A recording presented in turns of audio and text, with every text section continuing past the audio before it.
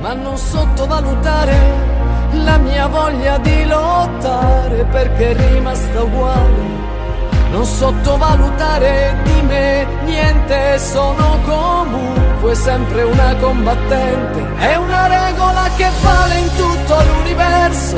Chi non lotta per qualcosa già comunque perso. E anche se la paura fa tremare, non ho mai smesso di lottare per tutto quello che è giusto, per ogni cosa che ho desiderato, per chi mi ha chiesto aiuto, per chi mi ha veramente amato.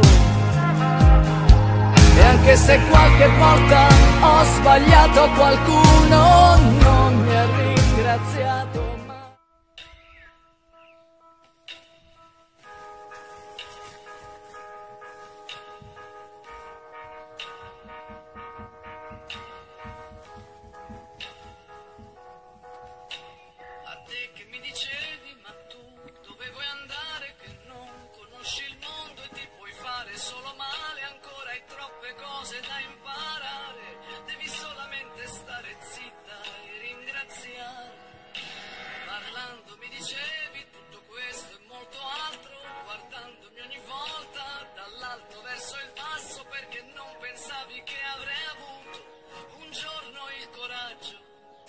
Nessuna condizione pensare sia sbagliato vivere liberamente la propria sessualità.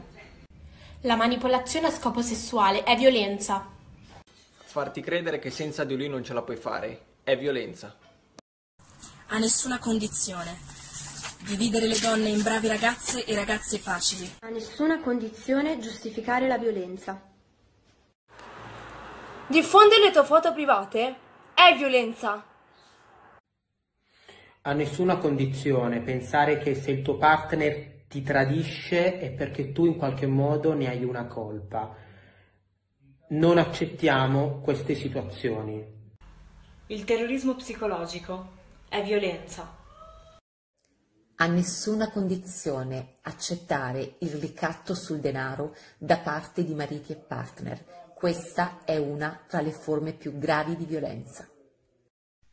A nessuna condizione dire che ognuna ha l'uomo che si merita.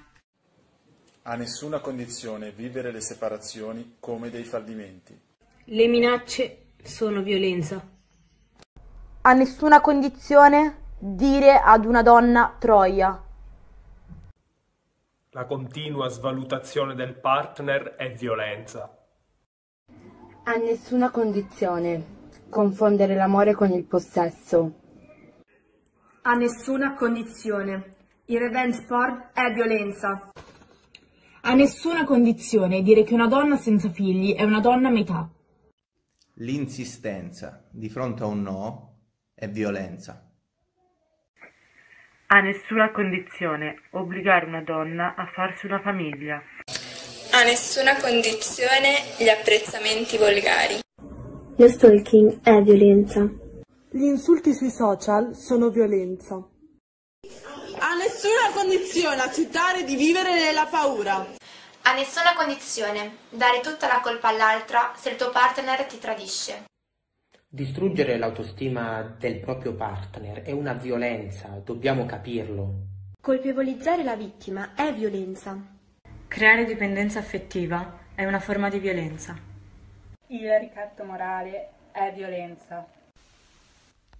A nessuna condizione dire a una donna ti assumo solo se non ti metti in maternità nei prossimi anni. A nessuna condizione imporre a una donna di sopportare un uomo violento per il bene della famiglia. A nessuna condizione etichettare come poco di buono una donna che cambia tanti partner. A nessuna condizione sopportare una relazione tossica. Negare la violenza è violenza. A nessuna condizione il controllo ossessivo del partner. A nessuna condizione non denunciare qualsiasi tipo di violenza per paura o per vergogna. A nessuna condizione giudicare una donna che esce la notte per andare a divertirsi. A nessuna condizione limitare la propria libertà per paura del giudizio.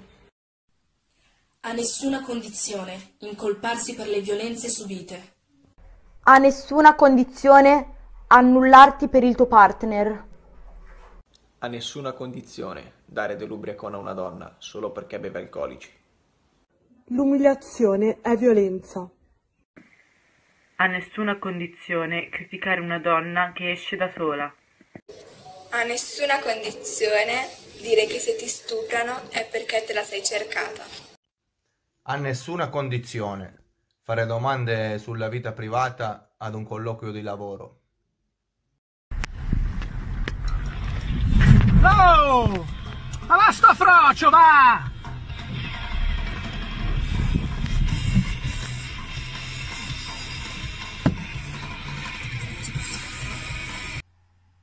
Per contrastare il fenomeno della violenza di genere è fondamentale cercare di comprenderlo in tutta la sua complessità. Infatti la violenza non è soltanto quella fisica, esistono forme di violenza più subdole e sottili, come ad esempio la manipolazione, il ricatto economico, le minacce, le intimidazioni, le continue svalutazioni e anche tutti quei condizionamenti sociali e quelle discriminazioni di genere ancora esistenti, nonché la minimizzazione e la negazione di queste forme di oppressione rappresentano essi stessi una violenza. Inoltre è interessante andare a vedere proprio per questo quali sono le forme di condizionamento e di discriminazione dalle quali si sentono maggiormente oppresse le giovani generazioni. Vediamolo. La violenza psicologica, quella di cui nessuno parla mentre tu ti ritrovi da solo con te stesso a fare i conti con quei segni apparentemente invisibili. Nella mia compagnia non mi sentivo me stessa, non affrontavo a modo mio l'adolescenza per paura dei loro giudizi e per paura di essere diversa. L'amicizia con Chiara iniziava ad essere più forte, stavo affrontando con lei le mie esperienze da adolescente. Stando più tempo con Laura, che vedevo molto più simile a me, affrontavo le mie giornate diversamente e uscivo sempre meno con i miei amici. Come ogni adolescente, il sabato sera bevevamo di più, frequentavamo spesso discoteche e avevamo frequentazioni con vari ragazzi. Alla fine quei giudizi tanto temuti sono arrivati. Secondo loro stavo cambiando, stavo diventando una poco di buono e un'ubriacona. Quei giudizi, detti a Chiara, alla fine arrivarono anche a me, facendomi passare per quella che l'aveva portata sulla cattiva strada. Quei giudizi, oltre a tanta rabbia, hanno portato molti timori in noi. E per paura di essere giudicate di nuovo non facevamo più le cose che volevamo. Questi non sono solo giudizi, ma è una vera e propria forma di violenza verbale e psicologica. La violenza non deve mai trovare giustificazione, neppure negli errori delle vittime. Ci sono uomini che considerano le donne come delle prede e utilizzano i social per addescarle. Diventano molesti, sgradevoli, pesanti ed assillanti, arrivando a creare anche profili falsi pur di contattarle. Insomma, i social vengono scambiati per una vetrina dove la donna è vista come carne al macello. Questo si chiama cyberstalking ed è inaccettabile. Uomini che si comportano in questo modo non sono definibili tali, quindi donne non fatevi intimorire, ma reagite, ci sono tanti modi per farlo e non siete sole. La società sente continuamente il bisogno di negare la violenza e di spostarla verso un colpevole esterno. L'uomo non è un animale, per questo non deve essere giustificato. Una donna che tradisce non ha poco di buono, mentre un uomo aveva un istinto da soddisfare? Uno stupro va giustificato per una gonna troppo corta della vittima? Siamo arrivati un, a un periodo storico avanzato dove la parità dei sessi, del vivere liberamente la propria sessualità, non c'è ancora. Io donna come tu uomo ho il diritto di vivere liberamente in ogni aspetto della mia vita. È una barzelletta che nel XXI secolo il sesso sia ancora un tabù. Dobbiamo evolverci. I passi indietro partono proprio da questo, dalla negazione e dalla giustificazione. È comodo giustificare l'uomo su importuni, tradimenti, violenze e stupri e girare la faccia dall'altra parte. Ed è altrettanto comodo quando la protagonista è una donna puntare il dito e utilizzare frasi sessiste. L'uomo ha pieno diritto di gestire la propria vita sessuale così come, liberamente, così come una donna. La violenza non va mai giustificata, che sia l'uomo il carnefice e che sia una donna. Ripeto che dobbiamo evolverci. L'uomo, se davvero uomo, gli istinti animaleschi, così li chiamate, li controlla. Ribadisco, non siamo animali in piena giungla e noi donne non siamo a livello sotto il vostro. La libertà è un diritto di tutti, ma ancora oggi a noi donne viene negata. Evolviamoci. Ti amo. Sei la donna della mia vita. Sei solo mia. Mi continuava a ripetere questa frase, anche se all'età di 14 anni non sapevo cosa significasse amare. Inizialmente, come in ogni relazione, tutto è rose e fiori. Solo che a un certo punto qualcosa è nato storto. Sentivo che c'era qualcosa che non andava. Ma era il mio primo amore. Come potevo oppormi? Fragile e ingenua quale ero, mi aveva convinto che l'unico modo per stare bene era stare solo con lui. Io avevo bisogno di stare con lui. O almeno, me l'aveva fatto credere. È stato un processo lento. Inizialmente mi aveva vietato di uscire con i miei amici maschi. Che cosa carina! Il mio ragazzo è geloso. Vuol dire che ci tiene tanto a me. Pensai inizialmente. Poi successivamente voleva che ovunque andassi io, lui doveva stare con me. E quelle poche volte che uscivo con delle mie amiche, lui mi chiedeva di inviargli le foto di dove mi trovavo, perché lui non si fidava di me. Anche se sosteneva il contrario. Io non mi fido degli altri, ma di te mi fido. Non ci ho mai creduto. Iniziò a impedirmi di mettermi le gonne, perché io ero soltanto sua e nessun altro poteva vedermi. Io e lui litigavamo ogni giorno, solo che non riuscivo a tenere testa e quindi prendevo tanti insulti. Litigavamo per qualsiasi cosa. Ad esempio, se non gli rispondevo a un messaggio per dieci minuti, lui mi tartassava di chiamate, di messaggi, e una volta che gli rispondevo, lui si arrabbiava con me, mi sbraitava addosso tutto il suo odio, tutto il suo rancore nei miei confronti, e iniziava a farmi il quarto grado. Dove sei? Con chi sei stata? Ma non ti vergogni di comportarti così nei miei confronti? La situazione era davvero pesante e oppressiva ma lui ogni volta mi ripeteva che se si comportava così era perché mi amava. Come potevo non perdonarlo? La situazione si è aggravata nel momento in cui ho iniziato a mentire. Ho iniziato ad uscire di nascosto. Perché io non volevo sentirmi segregata. Avevo 14 anni. Volevo vivere la mia vita. Ho iniziato a vivere con l'ansia di essere sgamata da qualcuno chi mi spiava.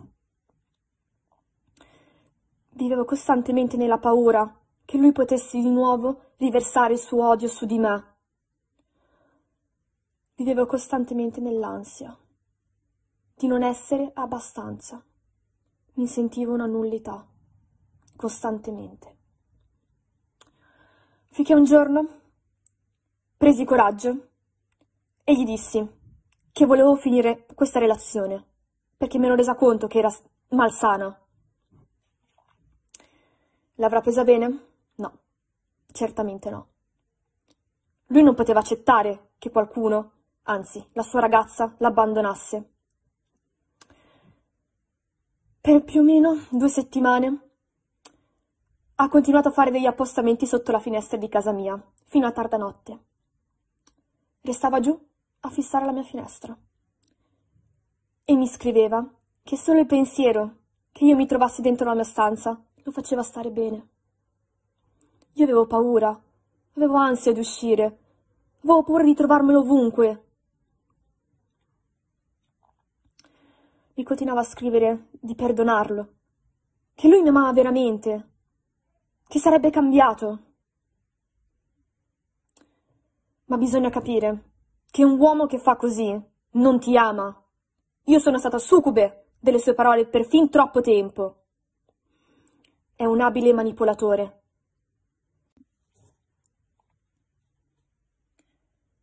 Ho chiesto aiuto a mia madre, perché una situazione del genere non riuscivo a tenerla sotto controllo.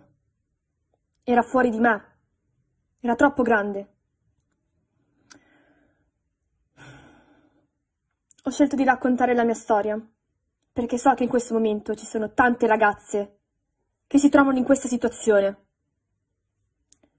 E il messaggio che vi voglio trasmettere è che voi siete donne forti. Voi non siete delle nullità. E ricordatevi che voi non siete di nessun altro se non di voi stesse.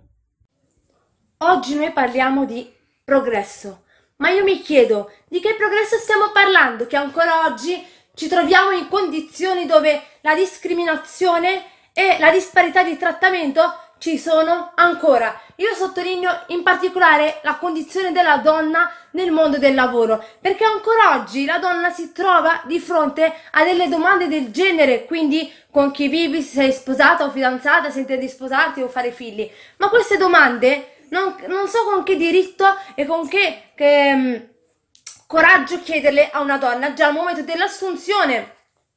Quindi non vedo perché ci sono ancora queste disparità. Quindi chiedere tutte queste cose a una donna e non a un uomo. Queste, questi dettagli fanno parte della vita privata, fanno parte della vita privata di ciascuna persona e io qua parlo della donna perché ancora oggi subisce discriminazioni e disparità di trattamento e poi anche disparità eh, nelle retribuzioni. Siccome la donna ha diritto alla maternità, eh, perché non diminuiamo anche la retribuzione? Ma lo stesso lavoro, il lavoro che presto io donna è lo stesso lavoro che presterà un uomo. Quindi non vedo perché ci sono queste discriminazioni. Ma se il problema è la maternità, io non lo vedo veramente come un problema, perché la maternità è un diritto per una donna come il lavoro è un suo diritto. Quindi la maternità deve essere tutelata, deve essere tutelata. Per tutte quelle persone che incontrano una donna che manifesta segni di violenza subita e non fanno niente per aiutarla, o per tutti quegli uomini o perché no donne, testimoni di violenze che osano dire che ogni donna ha l'uomo che si merita. Sapete che tutto questo non è giustificabile in nessun modo. Questa grave indifferenza e negazione come benzina in un incendio non fa altro che alimentare la violenza stessa. Come si fa a convivere con se stessi dopo essersi girati dall'altra parte alla visione di una donna in difficoltà? Come fate a convivere con questa apatia morale che vi portate dentro. Il primo passo per poter sconfiggere la violenza è poterla individuare e per poterla individuare è essenziale superare il muro dell'indifferenza. Dovete smettere di fingere di essere ciechi quando basterebbe spostare lo sguardo sui lividi segni che portano diverse donne per capire che quello che accade anche a me nella porta di fianco alla vostra. Questi sono i segnali che non potete ignorare ed è per questo che vi dico che l'indifferenza che mettete in atto ogni giorno, perché magari pensate che la cosa non vi riguardi, invece io vi dico che vi riguarda, perché così non siete altro che complici del carnefice stesso. Ancora ad oggi noi donne vediamo notevolmente discriminate, basta pensare alle parole che ogni giorno ci vengono attribuite dagli uomini o dalle stesse donne. Pensiamo a quei termini come zitella. Perché per una donna è dispregiativo, invece per un uomo il termine scapolo non lo è. Pensiamo a quelle parole come zoccola, baldracca, puttana. Potrei elencarvi altri 3000 aggettivi di questo tipo. Perché denigrare e disprezzare così una donna? Cos'è? Vi fa sentire più uomini chiamarla Troia? E poi perché ci vengono attribuiti questi aggettivi? Perché compiamo delle azioni tanto quanto le compiete voi? Perché voi, quando andate a letto con 20 donne diverse in una settimana, siete dei gran fighi e gli amici vi fanno anche gli applausi di sottofondo? Invece lo facciamo noi donne e siamo delle poco di buono. Cos'è? Abbiamo qualcosa di differente da voi? No, perché mangiamo, pensiamo e ragioniamo uguale come lo fate voi. Quindi, per favore, smettiamola di giustificare questi aggettivi, queste parole dicendo che sono discorsi da campetto, da spogliatoio, quando che se mi dispiace se una donna nel 2020 viene ancora denigrata non è un discorso da spogliatoio. Ricordo gli sguardi di quell'uomo, a volte feroci e a volte più dolci, quando sfiorava la mia pelle e non lo faceva quasi mai per darmi una carezza. Ricordo i suoi apprezzamenti, gli stessi che rimbombano nella mia testa quando cammino da sola per strada. Io non ho paura, eppure ogni sguardo di troppo, ogni complimento da parte di uno sconosciuto mi fanno battere forte il cuore per paura, timore, rabbia. È come se quell'inferno iniziato quando ero ancora troppo piccola non fosse mai finito. Una sera dell'estate scorsa ho ricevuto, mentre ero da sola per strada, l'ennesimo saluto malizioso da parte di un maschio Era grande, ma questo forse non importa, perché le parole non hanno età. Da chiunque vengano dette fanno male allo stesso modo. Come sono abituata a fare solitamente in queste situazioni, non, non ho ricambiato il saluto, sono andata avanti e ho cercato di non accelerare il passo per non fargli pensare che io avessi paura, perché io di paura non ne ho. Il problema è che dovrei averne. Ero ancora troppo vicina quando il ciao da me non ricambiato è stato seguito da una frase. Se le avessi proposto un atto sessuale, lei sicuramente avrebbe accettato. Diciamo che non l'ha detta esattamente così la frase, era più volgare, ma certe parole a me disgustano, fanno male e riaprono delle ferite che io non merito di avere, ma che purtroppo sono condannata a portare per il resto della mia vita. Non so cosa io abbia provato in quel momento, però penso che a certe donne non ci sia neanche bisogno di spiegarglielo, perché lo provano spesso nella loro vita. E questo mi fa rabbia. Mi fa rabbia pensare che ci possa essere una donna che ne soffre e una donna che invece ci ride su, come se questa fosse una battuta, come se facesse ridere. Mi sono spaventata io in quel momento e ci ho pensato forse fino alla notte, fino a quando sono andata a dormire. E non è vero che se lui mi avesse fatto una proposta di altro tipo io avrei accettato. Ma odio pensare che gli uomini pensino questo delle donne e odio pensare che se io avessi accettato comunque sarebbe stato un problema. Comunque io sarei stata giudicata perché in ogni caso sono donna e per questo io non sono libera di poter fare ciò che voglio. O meglio, questo è quello che tante persone ancora oggi credono. Con questo video mi rivolgo a tutti gli uomini che ancora ad oggi, nel 2020, praticano il cyberbullismo contro le donne, facendo girare foto che esse pubblicano autonomamente, però con modifiche pornografiche o uh, didascalie poco cortesi, o addirittura facendo girare foto che, eh, intime che esse mandano direttamente a loro, pensando di potersi fidare. Diciamo che di questo tema io posso parlarne in prima persona, in quanto purtroppo quattro anni fa una pagina di Facebook di cui era a comando un uomo e ne sono sicura perché ho avuto le mie conferme e ho effettuato le mie ricerche, ha pubblicato una mia foto che avevo già pubblicato io nel mio profilo di Facebook autonomamente, utilizzando come didascalia 2000, ovvero l'anno in cui sono nata, come gli anni che ti fai se te la scopi. E penso che questa cosa si possa descrivere già da sola.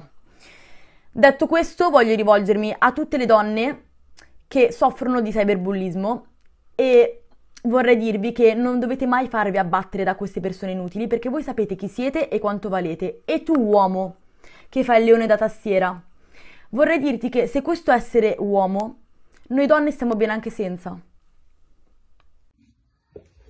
Ancora oggi ci sono delle differenze sostanziali tra uomo e donna, infatti lo possiamo notare dal numero di femminicidi a cui assistiamo giornalmente. Perché culturalmente, anche se siamo nel 2020, l'uomo vuole prevaricare sulla donna. Si dice tanto che ad oggi la donna abbia acquisito gli stessi diritti dell'uomo, ma non è così. Se una donna vuole formare una famiglia lo deve fare a discapito del suo lavoro e della sua carriera, mentre un uomo no. Se spesso noi donne veniamo continuamente giudicate, per esempio se postiamo una foto normale in costume, ehm, veniamo descritte come delle poco di buono e queste foto vengono spesso prese e utilizzate a scopi sessuali, eh, mentre un uomo no. Se veniamo spesso giudicate per il nostro modo di vestirci, infatti non siamo libere di vestirci come vogliamo, No, noi donne dovremmo farci forza l'una con l'altra, difenderci sempre e sostenerci a vicenda, ma purtroppo questa è una cosa che ancora ad oggi nella nostra società manca, ma che dobbiamo imparare a fare, perché d'altronde l'unione fa la forza e noi possiamo farlo. È normale che la società in cui viviamo ci imponga di trovare un compagno? Forse non è un'imposizione diretta, ma sicuramente una violenza psicologica. Una donna non ha bisogno di una metà della mela per essere ciò che è. Una donna è intera e si completa da sola. Se non è fidanzata, non è sbagliata o sfigata, ha semplicemente il diritto di scegliere come vivere. Parole dispregiative come zitella sono vergognose. Vergognose anche che la società pensi che una donna abbia bisogno di un uomo per costruire. No, noi abbiamo il diritto di scegliere come vivere. Mi sembra assurdo che nel 2020 le donne debbano ancora avere paura di essere stuprate, quella paura che si limita quotidianamente e che influenza ogni nostra decisione, perché alla fine il 90% delle donne prima di uscire di casa per una serata si guarda allo specchio e si chiede se quella gonna che tanto le piace possa essere troppo corta o se il trucco sia troppo marcato. Ci chiediamo se possiamo o no uscire di casa come vogliamo, per paura che qualcuno possa sentirsi libero di toccarci o violarci solo perché abbiamo il ginocchio scoperto o una scollatura. E una volta che siamo in giro non ci sentiamo al sicuro finché non chiudiamo la porta di casa per metterci a letto. Perché chi ci dice che non imboccheremo la via sbagliata? Chi ci dice che non uscirà qualcuno da dietro un cespuglio per metterci le mani addosso? Ormai le donne devono avere paura a, ca- a camminare da sole, ad andare ovunque senza che qualcuno non le accompagni. Ma non è giusto, non è giusto che io, la mia amica, mia mamma dobbiamo stare sempre allerta. Perché sì, potrebbe succedere a chiunque. Non c'è selezione dietro chi violentare o no. Scelgono una donna come se scegliessero un giocattolino e si illudono di poterla manipolare come vogliono. E vi sembra giusto che una ragazza non sappia più con chi sentirsi al sicuro? Perché lo stupro può avvenire da parte di chiunque, perfino da un familiare o da un amico per cui mettereste la mano sul fuoco. E chi l'ha deciso che io non possa andare a bere qualcosa con i miei amici solo perché loro, dopo qualche birra di troppo, potrebbero diventare violenti o molesti? Perché le persone non riescono a fermarsi, a capire cosa stanno facendo? Lo stupro rovina la vita di una persona, perché lo stupro una vittima non se lo dimenticherà mai donna, bambina, adolescente che sia, se lo porterà dentro per sempre. E vi sembra giusto condannare al dolore eterno qualcuno? A me no. Come non mi sembra giusto che per l'età contemporanea io non debba mettere un vestito troppo scollato o una gonna troppo corta solo perché sennò me la sto cercando. Davvero pensate che solo per come si veste una donna si meriti di essere violata così? Purtroppo oggi ci sono troppe cose che non vanno, e una di queste è che una donna non può decidere di essere donna come vuole. Siamo nel 2020 o nel 1700? 40.000 utenti, 40.000 che fanno parte di un gruppo dal nome squallido, come stupro tua sorella, su Telegram e si scambiano materiali di revenge porn, pornografia, materiali dove i protagonisti addirittura sono minori, pedopornografia. Si scambiano messaggi da brivido, come sono pro al femminicidio, padri che chiedono come poter stuprare i propri figli senza farli gridare. Le vittime di questi circoli perversi e ripugnanti potrebbero essere chiunque, tu stessa, tua madre, tua sorella. Sono consapevole che queste realtà esistano ormai da molti anni, ma allora cosa vogliamo fare? Rassegnarci all'esistenza di queste persone? Di questi rifiuti umani? Perché questo sono. Tu, uomo in questo gruppo, non hai le palle di affrontare una donna? E pensi che rifarti a una ragazzina, a una donna, sia la soluzione adatta? Rovinargli la vita? Oppure tu, uomo, non hai il coraggio di affrontare una rottura con la tua ex e pensi che vendicarti sia la soluzione adatta? Non sei uomo, sei solo schifo. La violenza di genere non va in quarantena, queste sono espressioni dello stupro, del, della cultura dello stupro.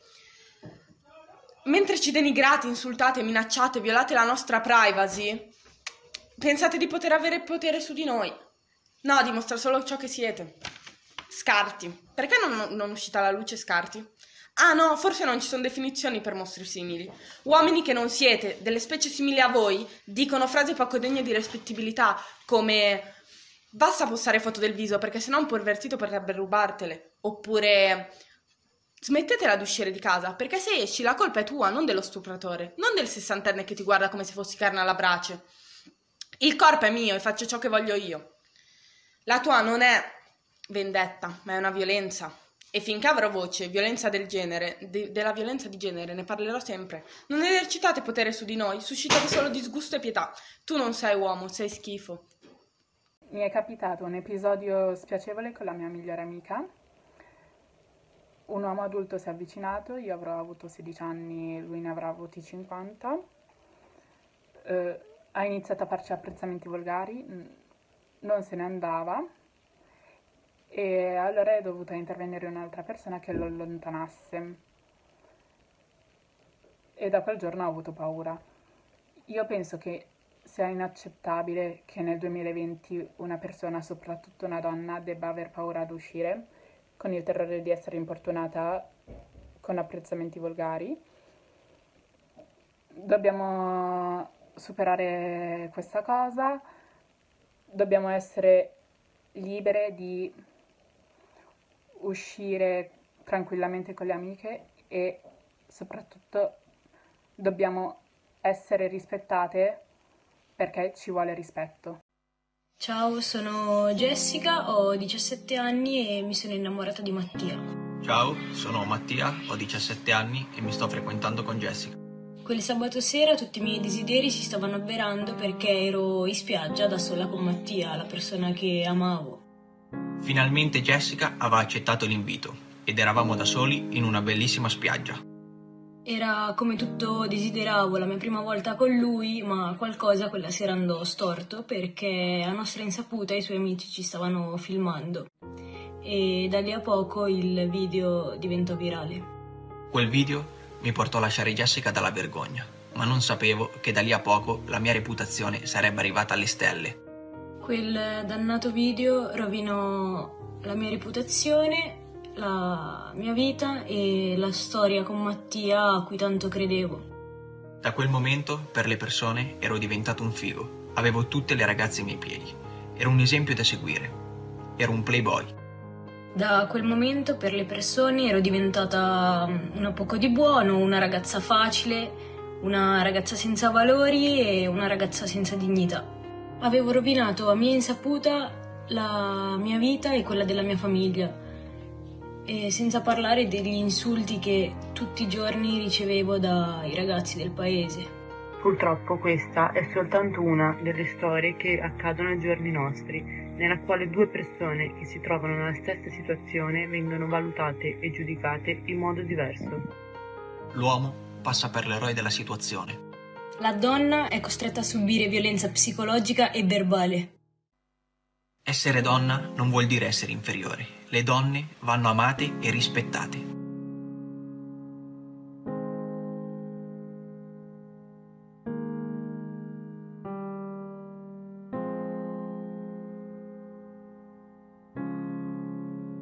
La violenza è sempre esistita, ma nel tempo è peggiorata sempre più fino ad arrivare ad atti inaccettabili. Mi concentrerò in particolar modo su un aspetto ben preciso, ossia il vestiario. La domanda che mi pongo è: ma perché non esiste la libertà di potersi vestire come meglio ci aggrada, senza incorrere in gravi pericoli, come ad esempio stupri piuttosto che violenze? Non vi è alcuna giustificazione plausibile nel dire che alcuni uomini, che definirei bestie, sono invitati a compiere azioni così spregevoli solo perché l'abbigliamento della donna è corto, piuttosto che provocante, piuttosto che scollato.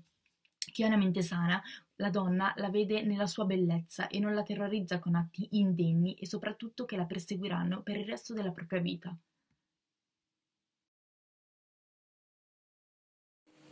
Le relazioni tossiche o abusanti generano una dipendenza affettiva da parte delle vittime nei confronti dei loro stessi carnefici, poiché questi, attraverso la manipolazione e il terrorismo psicologico, fanno a pezzi l'autostima del partner inducendolo a credere di non aver più alcun valore né possibilità di poter fare a meno del proprio aguzzino.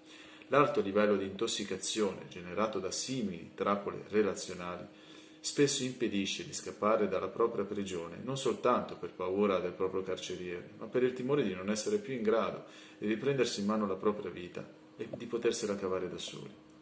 Queste stesse paure accompagnano anche chi sta intraprendendo un percorso di separazione o chi si è appena allontanato da un partner violento o manipolatore. Con un valido supporto psicologico è possibile rielaborare costruttivamente il proprio vissuto, riacquisire l'autostima, ritrovare il proprio valore, la propria centratura e una nuova progettualità per poter finalmente decidere di sé. Dal punto di vista giuridico, per genere si intende il modo in cui una persona percepisce ed esprime la propria appartenenza ad un sesso, che non deve essere necessariamente maschile o femminile, essendo riconosciuta una vasta serie di intersessualità che si possono manifestare sin dal momento dell'infanzia.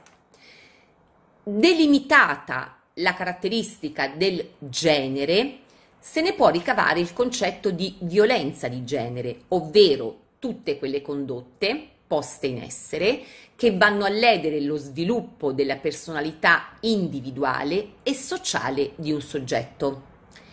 Mentre in passato la violenza di genere era riferibile quasi esclusivamente alla violenza fisica, in questo preciso momento storico essa fa riferimento e assume sempre più spesso connotati psicologici. Il nostro legislatore tutela le vittime della violenza di genere attraverso strumenti sia penali che civili, cosiddetti ordini di protezione, tra cui più importanti sono l'allontanamento dalla casa familiare dell'autore della condotta e l'ordine di non avvicinarsi ai luoghi frequentati dalla vittima. La violenza di genere non è soltanto quella contro le donne e va oltre il maltrattamento fisico. Infatti esistono delle forme di violenza psicologica che possono completamente condizionare, logorare e distruggere la nostra vita. Perciò è fondamentale riconoscerle e non essere più disposti ad accettarle a nessuna condizione. Anche se la paura fa tremare, non ho mai smesso di lottare per tutto quello che